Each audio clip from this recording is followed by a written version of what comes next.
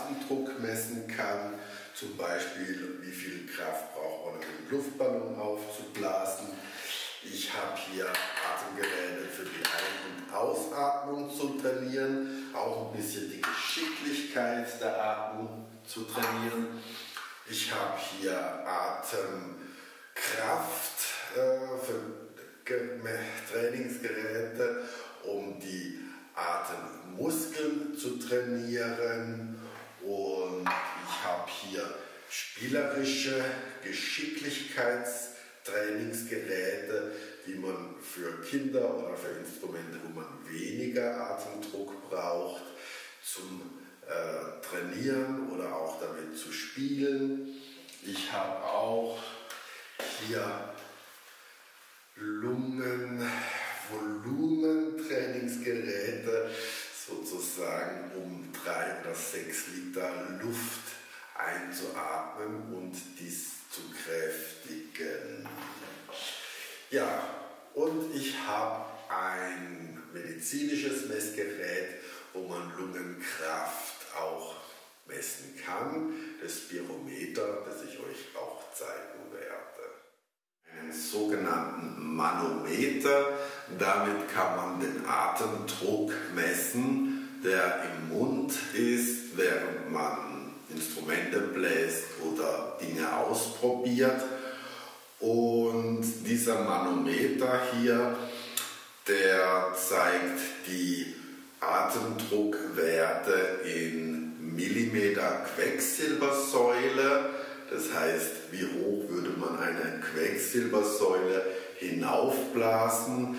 Da entsprechen 100 mm Quecksilbersäule 135 cm Wassersäule, das man auch sehr häufig verwendet als Einheit. Oder ihr kennt wahrscheinlich die Einheit Bar, 100 cm, 100 mm Quecksilbersäule sind 0,133 Bar, 133 Millibar also. Oder die SI-Einheit, die man korrekterweise nutzt, das sind 100 mm Quecksilbersäule 13.332 Pascal. Pascal ist die eigentliche Einheit. Wir verwenden heute jetzt Millimeter Quecksilbersäule, weil uns das dieser Manometer von der Fazzini-Firma anzeigt und der ist sehr günstig um 20 Euro. Damit kann man Sachen zeigen.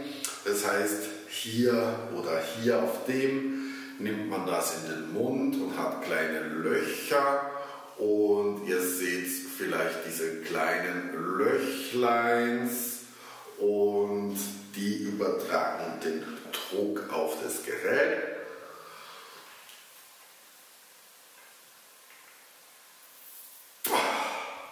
Die sollten jetzt in etwa das gleiche anzeigen.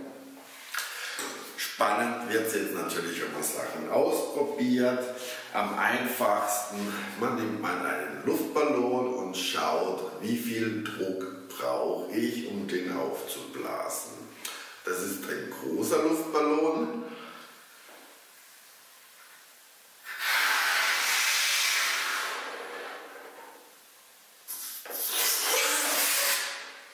Das war der orange Luftballon. Nochmal zum Vergleich ein blauer Luftballon.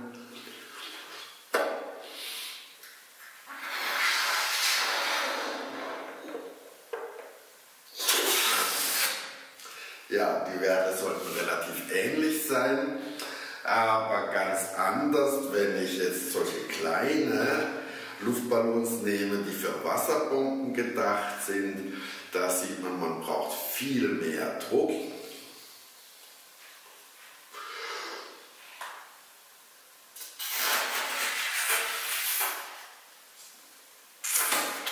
Ja, auch da nochmal ein zweiter im Vergleich, weil beim ersten Mal aufblasen braucht viel mehr Druck, als wenn man sie danach nochmal aufbläst.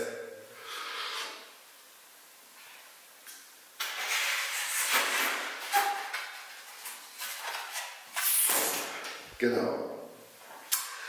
Ähm, ja, also ihr habt jetzt ungefähr Vergleichswerte, was man braucht, um einen Luftballon aufzublasen. Damit kann man natürlich auch ein bisschen seine Lungenmuskeln, besser gesagt die Atemmuskulatur trainieren. Die können wir uns dann mal anschauen, aus welchen Teilen die besteht. Aber heute oder jetzt zeige ich erstmal die verschiedenen Atemtrainingsgeräte. Hier der Ultra Breeze. Hier kann man die Einatmenmuskeln und die Ausatmenmuskeln trainieren. Und man kann auch einstellen, wie hoch der Gegendruck ist, den man, den man ausatmet. Jetzt ist es leichter eingestellt.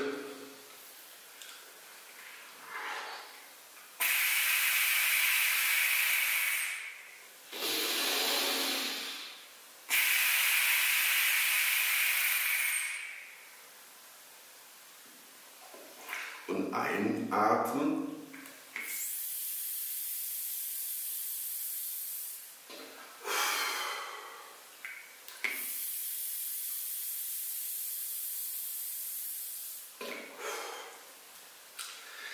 Ja, ich kann hier den Gegendruck auch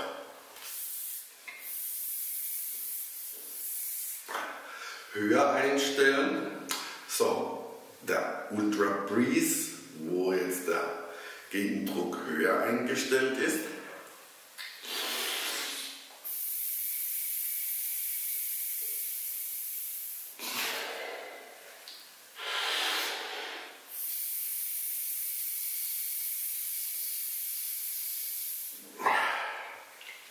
Und das Einatmen jetzt besonders schwer ist.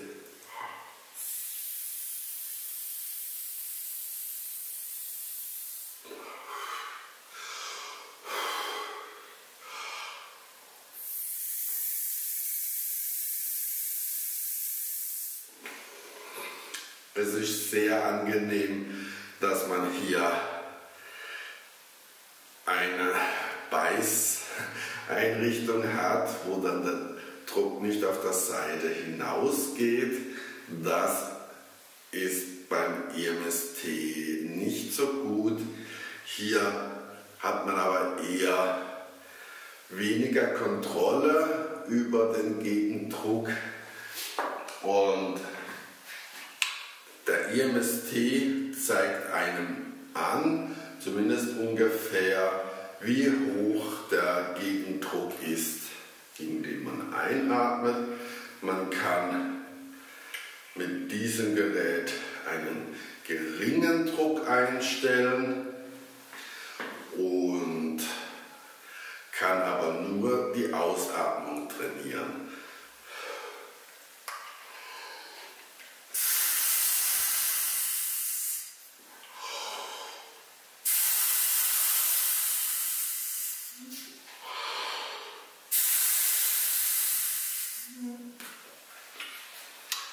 So, das ist die Anzeige, wenn es niedrig ist.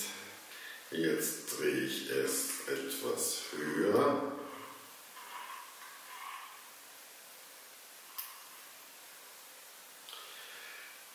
Jetzt ist es schon in der mittleren Position und ich muss schon deutlich stärker hineinblasen.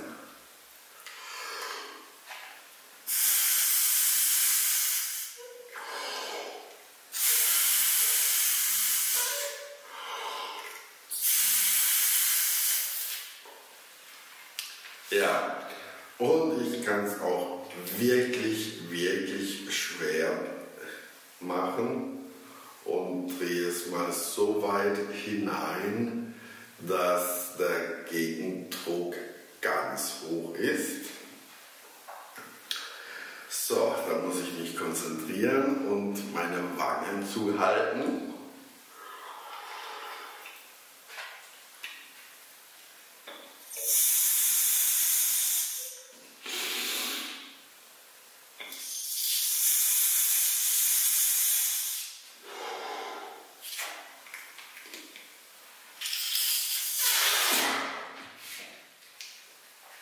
Ist natürlich jetzt mal interessant, wie viel Luftdruck ich brauche, wenn ich ein normales Musikinstrument spiele. Und da ich eines nicht spielen kann, das aber sehr wenig Luft braucht, probiere ich das zumindest mal zu dokumentieren.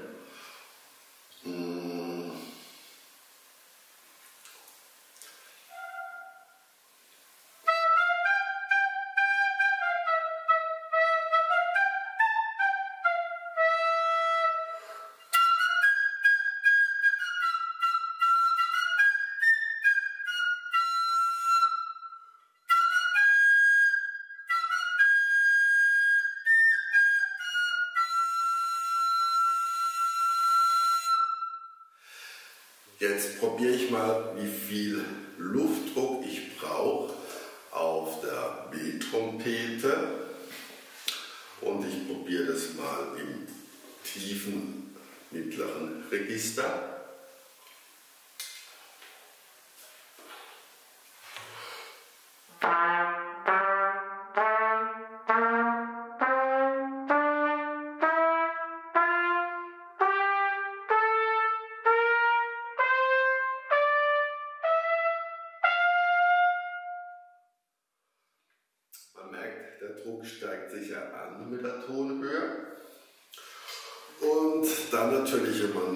Laut oder hoch spielen will, braucht man deutlich mehr Druck.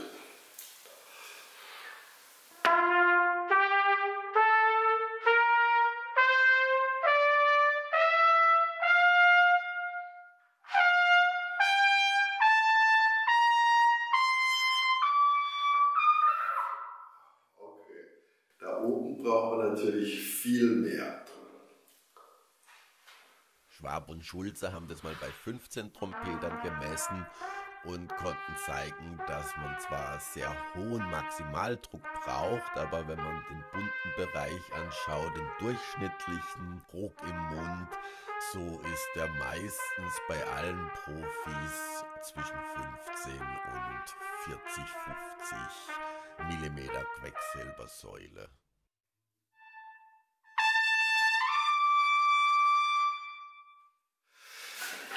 So, jetzt zeige ich euch mal den Inspiron. Der Inspiron, mit dem kann man Ein- und Ausatemmuskeln trainieren, beziehungsweise vor allem die Kontrolle kann man kontrollieren. Man kann hier die Stärke einstellen. Das heißt, wenn ich das auf ganz klein stelle, dann brauche ich überhaupt keinen Druck, um das einzuatmen. Wenn ich das auf 6 stelle, dann brauche ich schon wesentlich mehr Einatemvolumen. Und wenn ich es auf 12 stelle, dann muss ich schon ordentlich einatmen, damit die Kugel nach oben geht. So, aber ich kann es umdrehen und kann es auch zum Ausatmen verwenden. Da drehe ich es zuerst klein und man sieht, wenn ich da hineinblase, ist das mit dem leichtesten Druck oben. Wenn ich das auf 6 stelle, dann können wir schon mal wieder messen.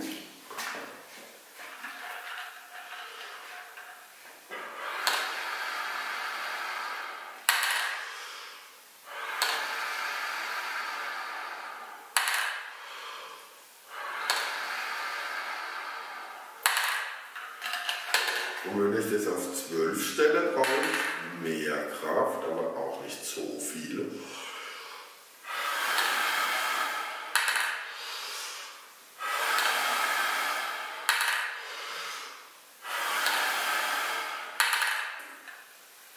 Ja, als ich dachte.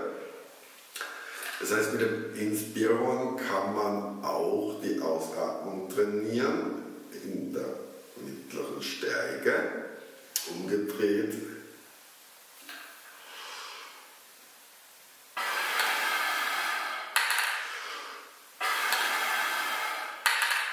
Das war jetzt auf 12. auf 6 nochmal.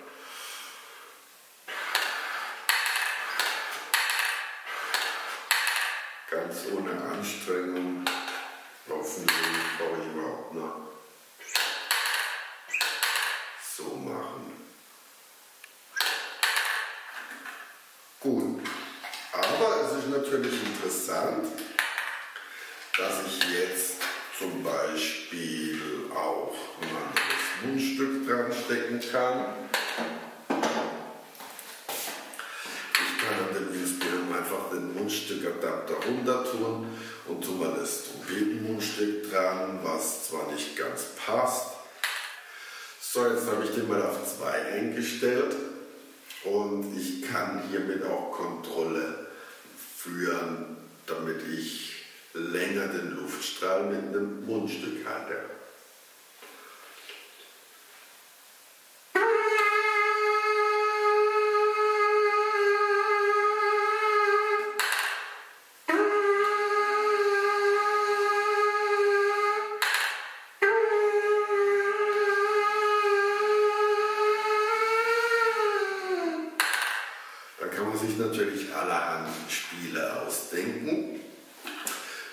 Wie man den Atemfluss kontrollieren lernen will. Also man kann es nicht nur zum Ein- Ausatmen verwenden, Training, sondern auch um die Geschicklichkeit zu trainieren. Das ist ein Atembeutel, hier ein 3-Liter-Beutel, wo man eben dann auch einen Widerstand hat, wenn man das ganz voll bläst. Und das ist mehr zum Lungenvolumen trainieren. Also da muss man wirklich viel Luft hineingeben.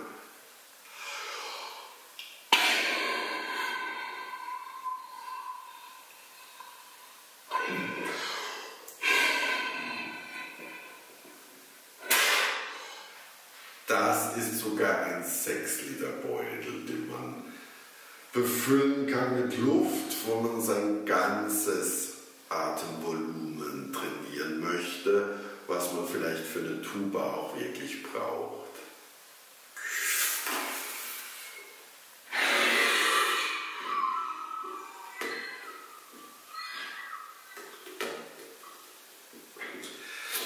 Also ganze 6 Liter schaffe ich nicht.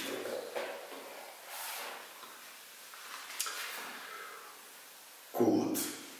Also es gibt einen 6 Liter Atembeutel und es gibt einen 5 Liter, den ich nicht da habe und es gibt einen 3 Liter Beutel, um das Lungenvolumen zu trainieren.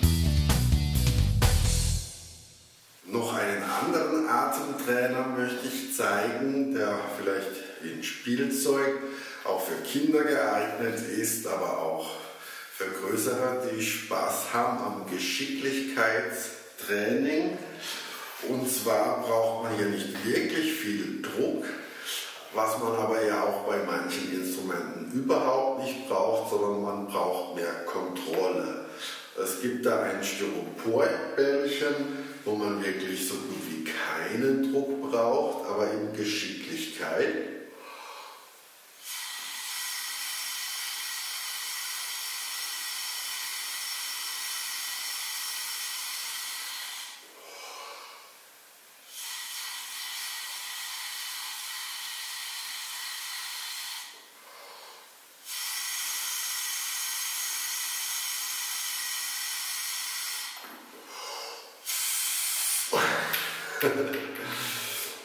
ja, wenn man ein bisschen mehr Spaß haben will, dann nimmt man einen Tischtennisball, den man da drauf setzt und kann auch die Geschicklichkeit üben.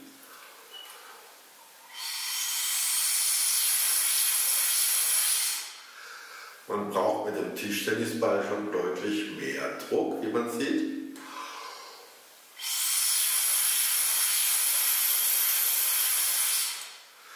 Und kann hier konstanten Atemdruck üben.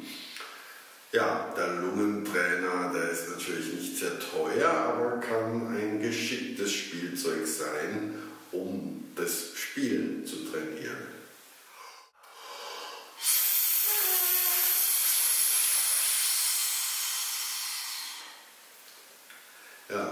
lustig Spaß damit rumzuspielen. Gut. Weil Spielen sind, wollte ich noch schauen, wie viel Druck man braucht, um einen Luftballon zerplatzen zu lassen.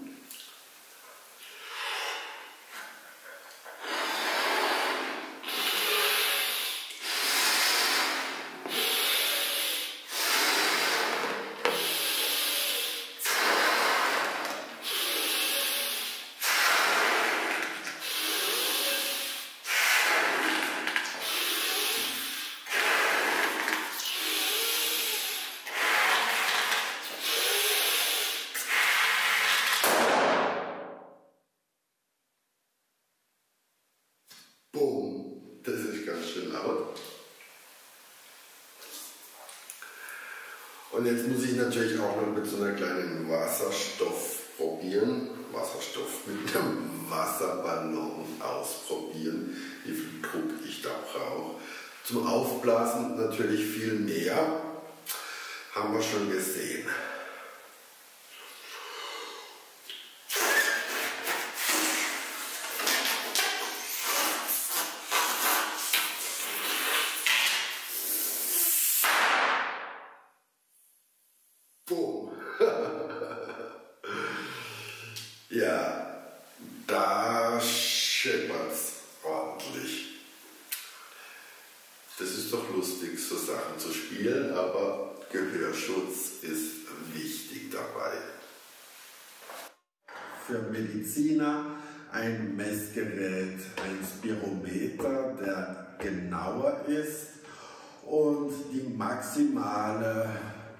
Inhalationskraft und Exhalationskraft messen kann, den MIP und den MEP.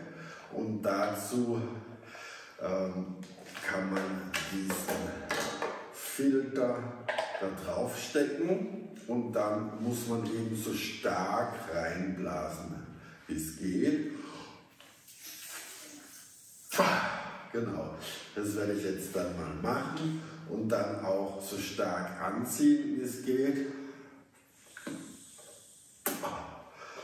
Und dann habe ich die exakten Werte und kann dann auch noch messen, wie viel Liter Luft kann meine Lunge umwälzen in 12 Sekunden und das ist dieses Teil, da kann ich dann eben wie beim Luftmatratze aufpumpen, ganz oft so.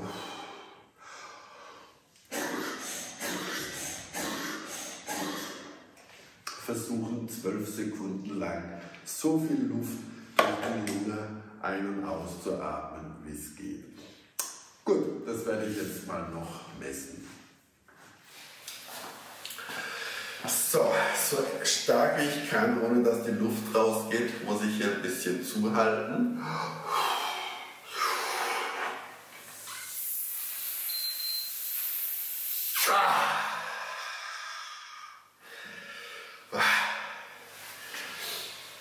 Gut, das war schon ziemlich ordentlich. 225.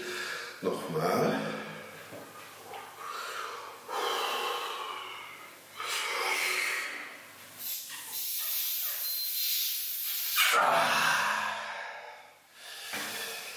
So, 218.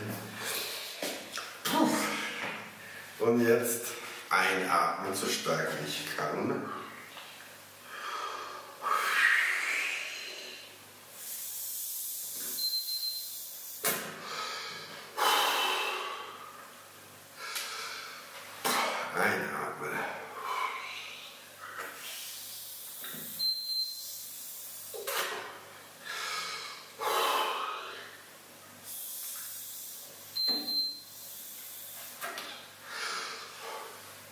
Man sieht jetzt hier, ich habe deutlich mehr als erwartet und auch in beiden Werten deutlich über den Schnitt für einen 56-jährigen männlichen kaukasischen Raucher aus Europa. Ja, wenn man als Trompeter ein Instrument spielt, das viel Lungenkraft braucht, Atemkraft, Atemmuskulatur, dann kann man sich sowas kaufen wie den Emst zum Beispiel und äh, da kann man das genau einstellen. Besser ist es, man hat da ein Mundstück dazu, damit es besser schließt. Oder man verwendet den, wo das schon mit dabei ist, wo man nicht so hohe Kräfte messen kann. Wenn man mehr Geschicklichkeit trainieren möchte, dann ist wirklich so ein einfaches Spielgerät in Anführungszeichen was sehr Sinnvolles. Wenn man Volumen trainieren möchte, dann kann man natürlich mit Atembeutel arbeiten.